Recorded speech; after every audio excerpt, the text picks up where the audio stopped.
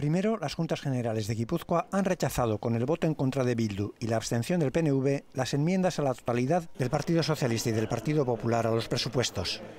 Después, Markel Olano ha avisado a Bildu de que no tenía en absoluto asegurado el apoyo del PNV. Que si no llegamos a un acuerdo, nosotros votaremos en contra.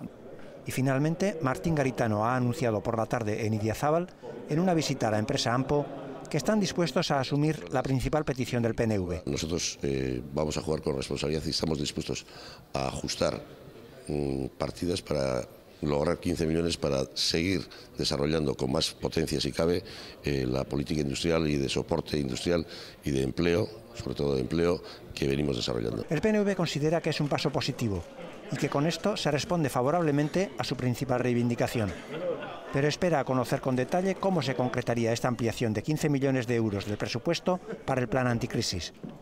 La reunión que Bildu y PNV celebrarán mañana puede ser decisiva para materializar el acuerdo que se visualizaría el lunes en la Comisión de Hacienda de las Juntas.